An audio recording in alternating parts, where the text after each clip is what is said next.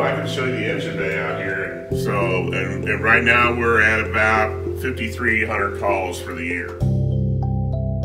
Real quick, because our ladder truck, which is 1.3 million dollars, does not like snow. The highway doesn't. So that kind of gives the crews a little bit of added know-how of where they're going. Here and last year we have had three clinical saves where the people had a heart attack. and Our crews got there, were able to shock them, give them meds. The ambulance got there, we worked with them, and we actually got them back, got them to the hospital, and they actually walked out of the hospital and they're alive today. So uh, that's that's uh, pretty good.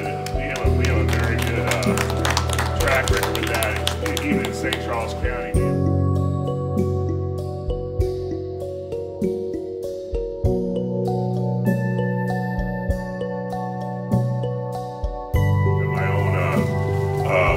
In fact, the truck must have been pulling in. So they're going right back. Uh, keep, keep your grades up, learn math and science. Uh, there is fire academies. Uh, St. Charles County has a fire academy. St. Louis County has a fire academy that you can teach a firefighter one or two. Uh, I'm going to tell you, you need to get at least your EMT license.